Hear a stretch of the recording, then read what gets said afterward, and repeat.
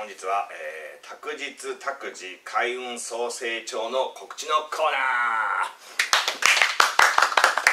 よく言えた。ーなんでしょうこれは。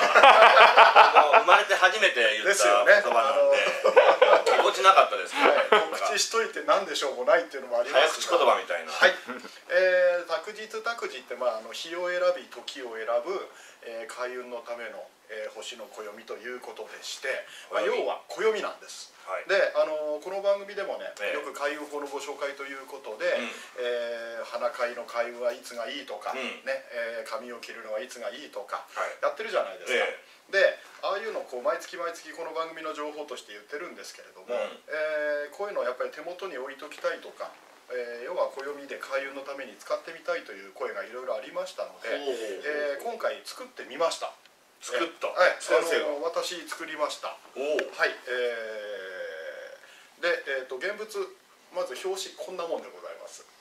うん。えー、とこれあの真ん中に私用ってことで千社札貼ってますけどあの皆さんのはこれ貼ってませんので。皆さん皆さんのはって。えあのこれお売りしようということなわけなんですよね。あはい販売するわけですね。販売しようということなわけなんです、はいはいはいで、えっと、一応中身はですね、ええ。このような形で、えーいわゆる暦でございます。毎日のその暦よくある運勢の暦みたいなのありますけれども、はいはいはい。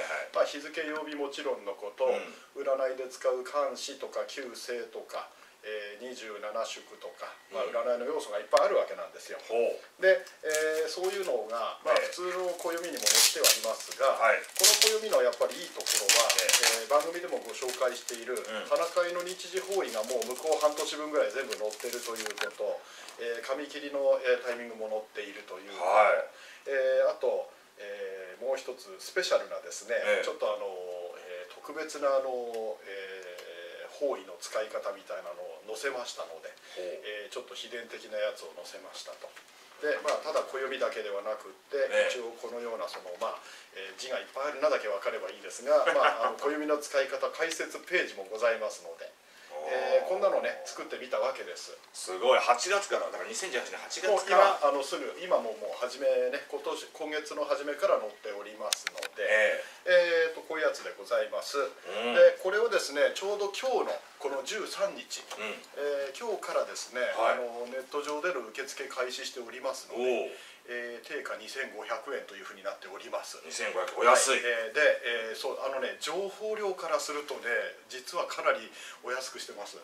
あのものとしてはね、はい。小さいものではありますが。ええなるほど。であのーえー、と扱いは、うん。えーいつもの創生堂でございますので、えーまああこの、ね、ですね。こ この辺出てるかなと思いますが、えーネット上ではあの創生帳というはいページがございますので、そこに問い合わせしていただければ。えーそちらからあの申し込みもできるようになっております。えでちょうど今日13日から、えー受付開始しておりますので、えー興味のある方はどっかこの辺、えーここの辺りをですね、はい。あのー検索していただけるといいかあなあとということになっております。あらそれこれはねそのちょっと嬉しいというかね。そうですね。もうえなかなかあの中身苦心して作りましたので、はい。ぜひぜひ皆さんお買い求めください。そしてまあねあの使える暦ですので、うん。うん、ただパラパラ見てねあの置いといて今日何の日とかやるだけじゃなくって、ええ。まあ、実際に行動して使うための本当に開運のための暦っていうところがミソですのでね、はい。ええーぜひとも。はい。お買い求めたくさい。さんの方にねえあのお買い求めいただきたいと思います。ということでございます。はい。よろしくお願いいたします